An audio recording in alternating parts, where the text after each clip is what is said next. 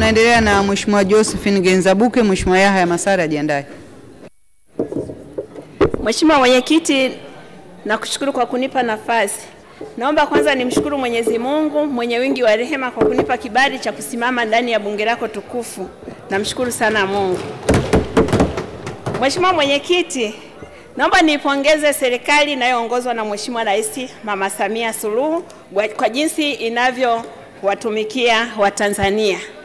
Nimpongeze Mheshimiwa Bashe kwa kazi nzuri anayoifanya, naibu waziri, katibu mkuu pamoja na wafanyakazi wote wa Wizara ya Kilimo.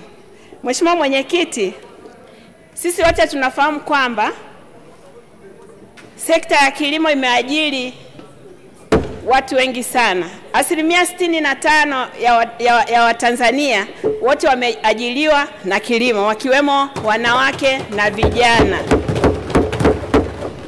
Nipongeze serikali kwa jinsi ambavyo imejipanga kwa ajili ya kukiinua kilimo. Naipongeza sana serikali. Mheshimiwa Mwenyekiti, kilimo kikipewa kipaumbele, wananchi wataweza kufanya vizuri katika kilimo. Mheshimiwa Mwenyekiti, ni ukweli usiopingika, wananchi wakiwekewa ma mazingira wezeshi katika kilimo wataweza kufanya vizuri. Niombe sasa Mheshimiwa Waziri, serikali iweze kutoa ruzuku kwa ajili ya mbolea. Kwa muda mrefu sana mbolea iki, imekuwa ikileta shida kwa wakulima. Maeneo mengine mbolea inachelewa kufika, na tunafahamu kabisa kwamba mvua za kwanza ni za kupandia na maeneo yanatofautiana. Kigoma na Rukwa ni tofauti na hata Tanga. Kwa hiyo mvua zinazoanza kunyesha Kigoma, pengine Tanga zinakuwa hazijanyesha. Kwa hiyo tunaomba mbolea ifikishwe kwenye maeneo husika mapema kabla wakulima hawajaanza kulima. Mheshimiwa Mwenyekiti, jambo lingine ambalo ninaendelea kuishukuru serikali kwa muda kwa muda mrefu tumeona serikali imekuwa ikitumia pesa nyingi kuagiza mafuta kutoka nje, lakini kwa sasa serikali imedhamiria kabisa kuhakikisha sasa mazao yanayo yanayoweza kutoa mafuta yanapewa kipaumbele. Nishukuru serikali kwa kuendelea kutusaidia sisi watu wa Kigoma, na nimpongeze Mheshimiwa Waziri Mkuu kwa jinsi anavyoendelea kuhamasisha michikichi katika mkoa wetu wa Kigoma.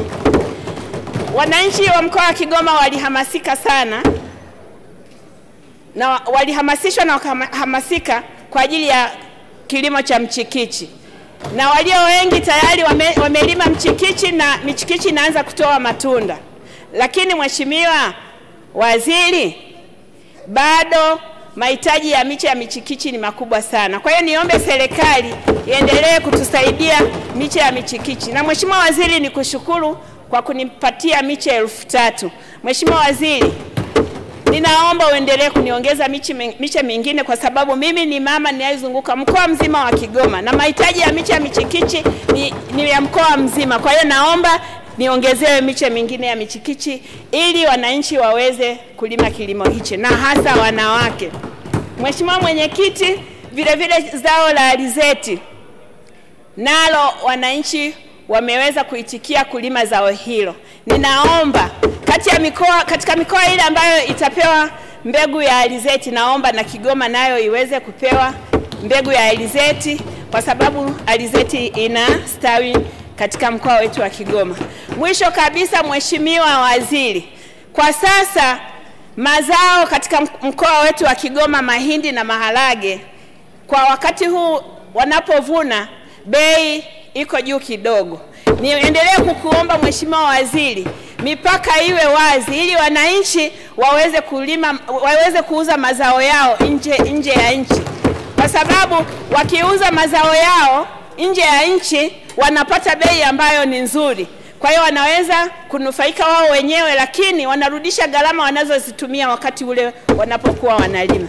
Baada ya kuzungumza maneno hayo, nakushukuru na naunga mkono hoja. Asante sana Mheshimiwa uh, Gizabuke kwa kutumia muda wako wa dakika tano ipasavyo.